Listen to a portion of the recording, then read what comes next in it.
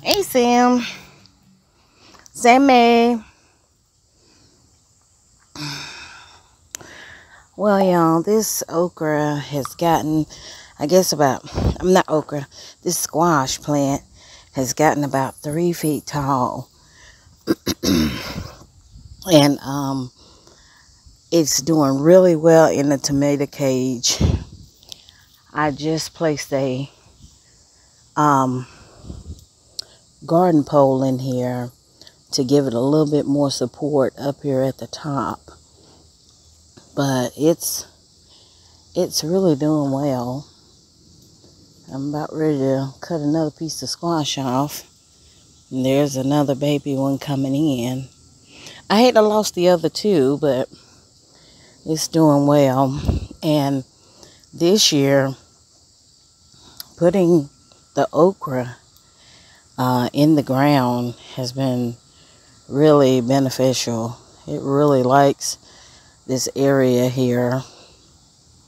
And I've, I've let it go with the extra leaves because I'm finding that that's giving it more uh, space to grow. And I'm hoping that some of these side shoots will develop into um, squash as well. So we'll see. It looks like it is continuing to do its thing even with the side shoots. And every time I remove uh, an okra, I cut the stem off as well. So we don't have that just extra stuff going everywhere. But they are really, um, really doing good here in this area, right next to the deck. That one has two on it.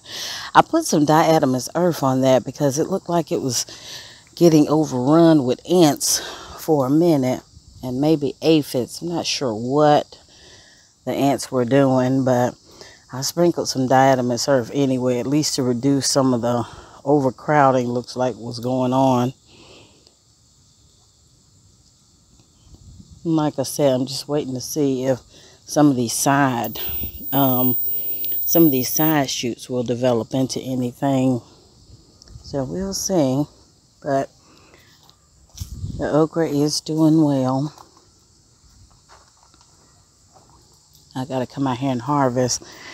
I don't want them to get too long where they start uh, being uh, barky.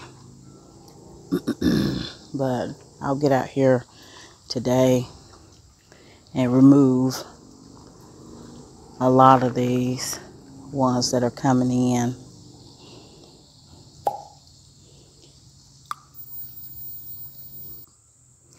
Well, guys, the blackberry plant is really taking off.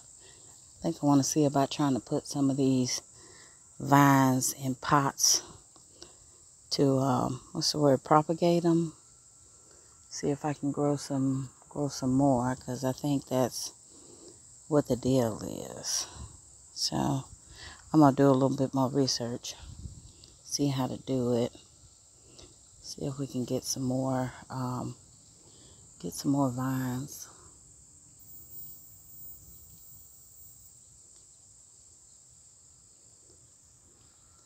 This is finally turning red up here, looking good. Got some more coming in on these tips.